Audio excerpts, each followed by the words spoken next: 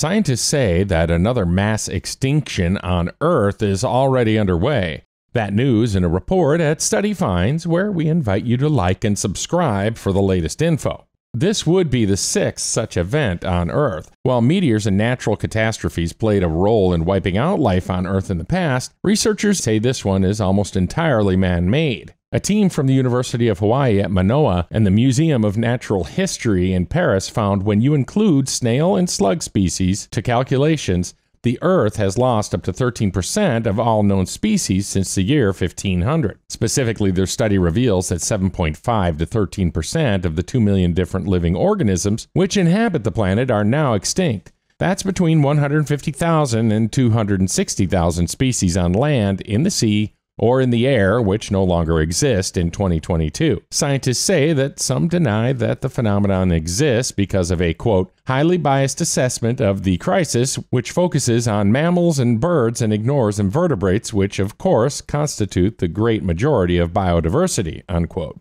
On land, the team finds that island species are at higher risk of extinction than those on larger continents. Also, plants seem more resilient to extinction than animals.